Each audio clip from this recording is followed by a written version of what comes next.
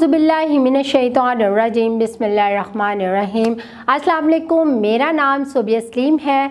आज मैं आपको गोहर पब्लिशर की जानब से खुश आमदीद कहती हूँ। हमारा मोटो है redefining the geography of education through digital resource for conceptual learning आज हम गोहर नदाए उर्दू जमात दोम सबक नंबर 11 और सफ़ा नंबर बहत्तर खोलेंगे और वहाँ पर मौजूद माहौल और सफ़ाई से मतलब जो बाकी की मश्क है उसको हल करेंगे। ज़बान शनासी यहाँ पर चंद जुमले दिए गए हैं, पहले हम उनको पढ़ते हैं। कुआँ में पानी है। आपको कुछ समझ आया? कुआँ कुआँ में पानी है, ये कोई जुमला बना? कुछ अजीब सा लग रहा है ना? यहाँ पर क्या आना था? कुएँ में पानी है, यानी कि काफ, नून वाओ अलिफ और नून गुन्ना नहीं लिखना था, बल्कि अलिफ की जगह ये नून गुन्ना आना था, कुएँ में पानी है।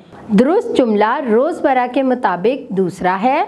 यहाँ लिखने में कुएँ जमा है, मगर दरअसल एक वाहिद है।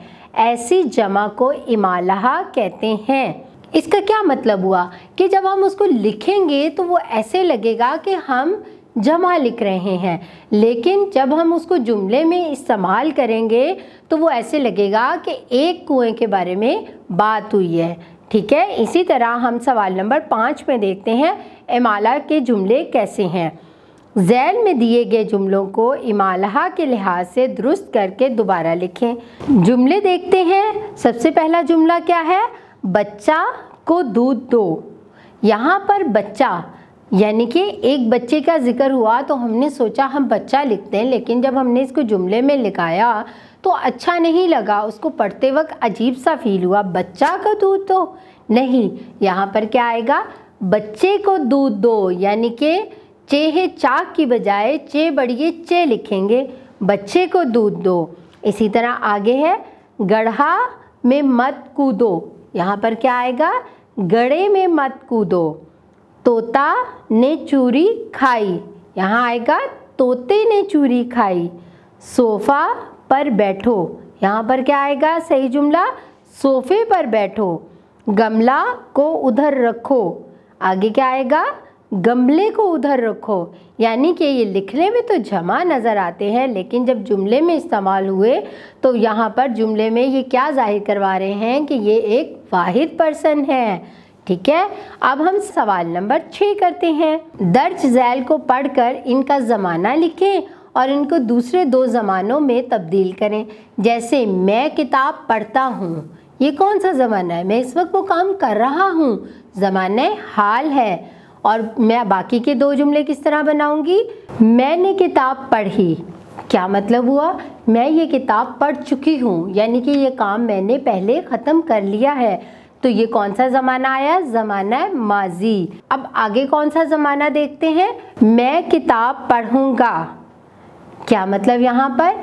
कि मैंने ये किताब ना तो अभी पढ़ी है और ना ही मैं अभी पढ़ रहा हूँ। यानी कि ना मैंने पहले पढ़ी, ना मैं इस वक्त पढ़ रहा हूँ। मैं आपको ये बता रहा हूँ कि मैं पढ़ूँगा। यानी कि ये काम मैं मुस्तकबिल में करूँगा। इसे क्या कहेंगे? ज़माना मुस्तकबिल। अब हम देखते हैं यहाँ पर चंद जुमले दिए गए हैं। कौन से जुमले हैं ये? अनवर स्कूल जाता है, सलमा तेज़ दौड़ती है, अहमद ने खाना खाया, शाजिया ने गाड़ी चलाई। ये चारों जुमले कौन से हैं? ज़माना हाल के जुमले हैं। अब हम इन जुमलों को ज़माना माजी और ज़माना मुस्तकबिल में बदलेंगे। जैसे कि पहला जुमला क्या है? अनवर स्कूल जाता है। अनवर स्कूल गया, ज़माना माजी। अनवर स्कूल जाएगा, ज़माना मुस्तबिल सलमा तेज़ दौड़ती है। सलमा तेज़ दौड़ी, ज़माना माजी। सलमा तेज़ दौड़ेगी, ज़माना मुस्तबिल अहमद खाना खाता है। अहमद ने खाना खाया, ज़माना माजी। अहमद खाना खाएगा, ज़माना मुस्तबिल शाजिया गाड़ी चलाती है। शाजिया ने गाड़ी चलाई, ज़माना माजी। शाजिया गाड़ी चलाएगी, ज़माना मुस्तकबिल।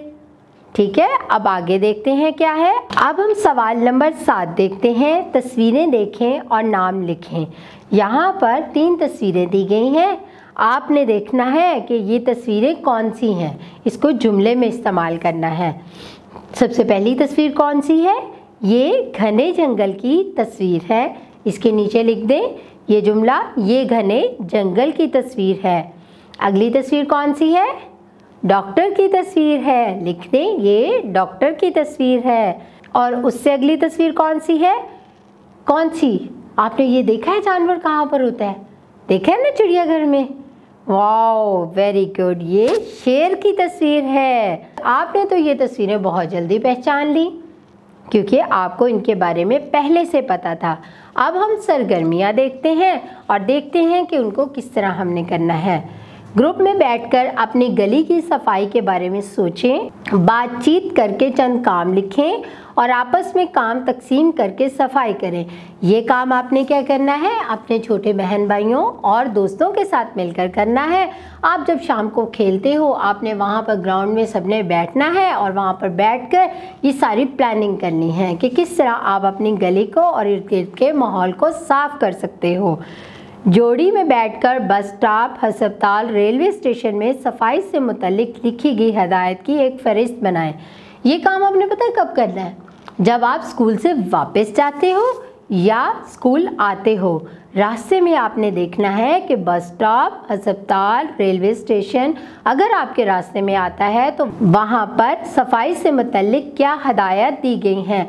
आपने इन हदायत को गौर से पढ़ना है और उस पर अमल भी करना है और इसके बारे में अपने दोस्तों को भी बताना है। अपने साथियों से बातचीत करें कि एक नए लड़के को अपने साथ खेलों और पढ़ाई में कैसे शामिल करें। यानी कि अगर आपकी क्लास में कोई नया लड़का आया है तो आप उसको अपनी क्लास में किस तरह शामिल करेंगे और उसकी मदद किस तरह करेंगे कि वो हमारे साथ मिल जाए। ठीक है? ये काम भी आपने अपने जमात में मौजूद नए लड़के के लिए करना है और इससे क्या होगा कि आप उसकी मदद कर सकेंगे और आप एक नेकी का काम कर रहे हैं। ये तमाम सरगर्मियाँ आपने बहुत अच्छे तरीके से करनी है। मुझे यकीन है आपने इस सबक से सफ़ाई और माहौल के बारे में बहुत कुछ सीखा होगा और अपनी ज़िंदगी में हमेशा इस पर अमल करेंगे।